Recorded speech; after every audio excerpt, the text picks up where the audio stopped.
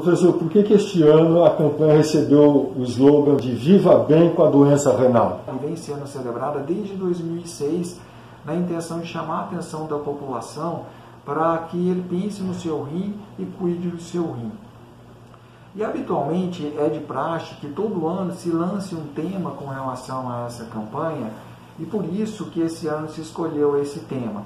Obviamente, são todos relacionados à importância de você lembrar do seu rim e também de lembrar dos cuidados que são necessários que você tenha com eles. Então, quando você vive bem com a sua doença renal, é fundamental que o paciente entenda que é, tem como isso ser realizado.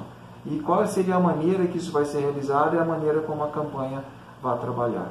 Professor, com base naquilo que o senhor respondeu, é, como é que uma pessoa pode viver bem com uma doença renal, como sugere o slogan?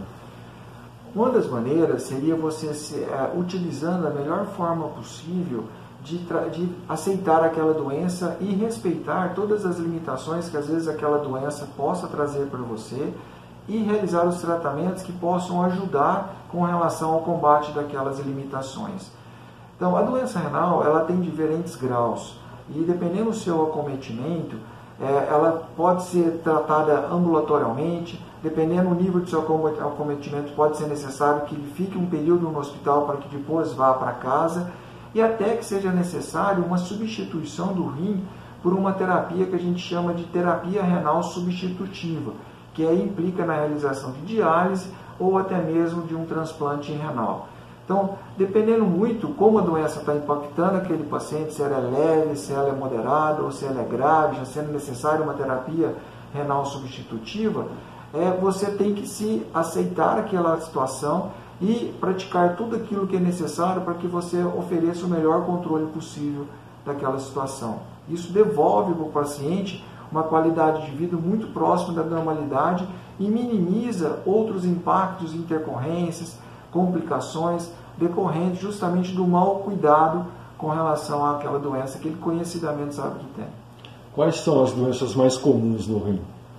Bom, aquelas que de uma maneira geral trazem maior preocupação, nós podemos até dividir entre adultos e crianças. Nas crianças, nós temos uma preocupação maior com relação às malformações congênitas, que são as principais causas de falências renais, até mesmo na infância ou posteriormente na fase adulta. Agora, no adulto, nós temos uma preocupação assim especial com a hipertensão arterial, assim como também com o diabetes mellitus, que nós sabemos que são doenças que oferecem risco maior para dano renal a longo prazo, especialmente se não for feito um manejo adequado desse diabetes e dessa hipertensão, tanto por parte do cuidador, do médico, assim como também por parte do próprio paciente seguindo as orientações. Tem sintomas? Sim, é, habitualmente é, o que você vê, o descontrole da pressão são sintomas clássicos que o paciente pode ter, tá? alterações com relação a eles, assim como também do próprio diabetes. O paciente que é diabético e é hipertenso, ele já está acostumado por essas alterações que provavelmente ele já deve ter sentido eles, elas, ou no início da, da, do diagnóstico da doença, ou até mesmo ao longo do tratamento. Agora, o problema renal, no seu início, ele é muito silencioso e às vezes ele pode não trazer sintoma algum para o paciente, ou seja, o paciente não percebe que o rim está sendo impactado por aquela doença que ele tem e se ele não tiver o devido cuidado, assim como também o colega que o estiver assistindo, zelar por isso, você pode às vezes identificar a presença do problema renal já numa fase mais tardia.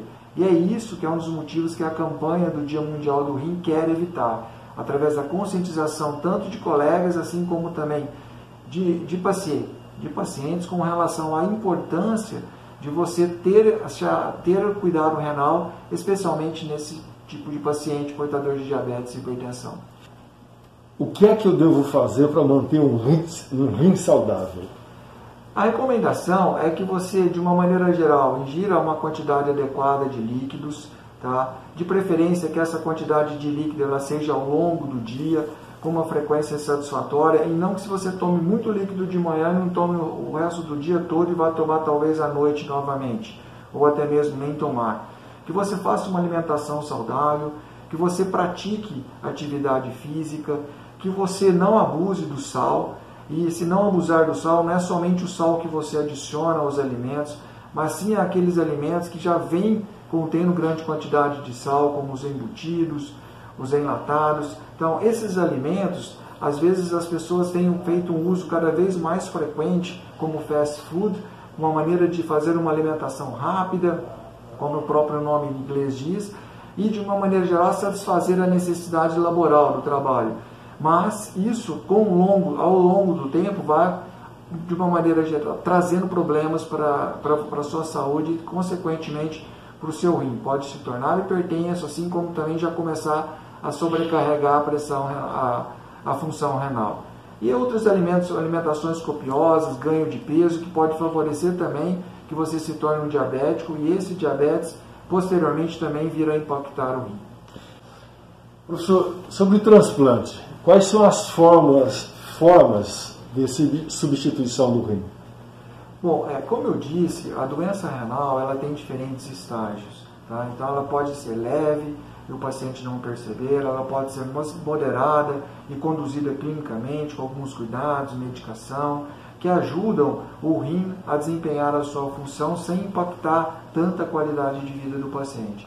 E existe aquele estágio grave, que seria o que a gente chama de estágio terminal, onde o rim já não é mais capaz, mesmo com cuidados clínicos, com medicação, de satisfazer as necessidades do organismo.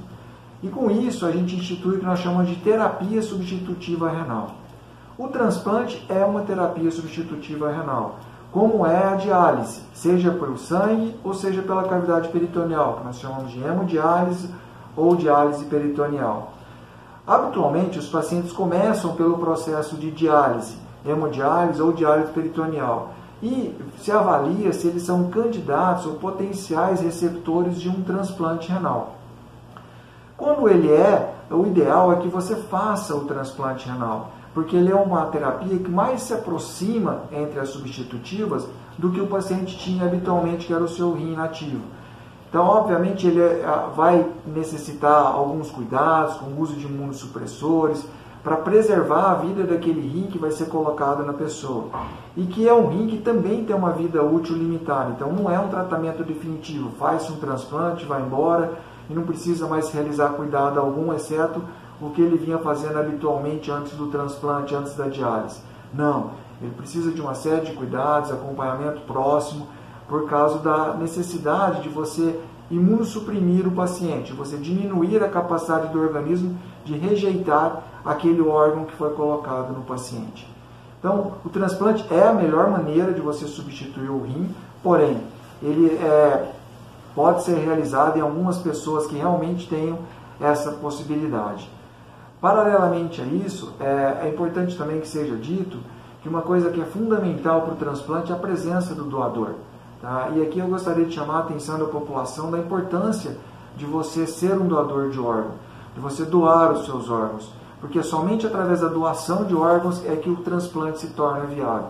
Se eu não tiver doação de órgão, eu não tenho como fazer transplante. Então, doar órgão é uma atitude muito solidária ao próximo e, ao mesmo tempo, salva a vida do paciente.